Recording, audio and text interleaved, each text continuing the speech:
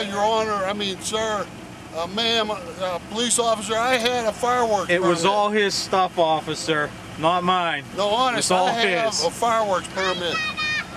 I probably left it at home, but when I went to get my mother's medicine, I left it down there.